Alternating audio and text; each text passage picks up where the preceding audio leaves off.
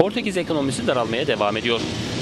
Portekiz Ulusal İstatistik Enstitüsü İNE'nin verilerine göre ülkenin gayri safi yurt içi hasılası yılın 3. çeyreğinde çeyrek bazda %0,6, yıllık bazda ise %1,7 daraldı.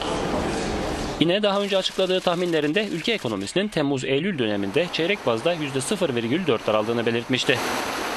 Portekiz hükümeti ekonominin bu yılın tamamında %1,6, gelecek yılsa %3 daralacağını tahmin ediyor.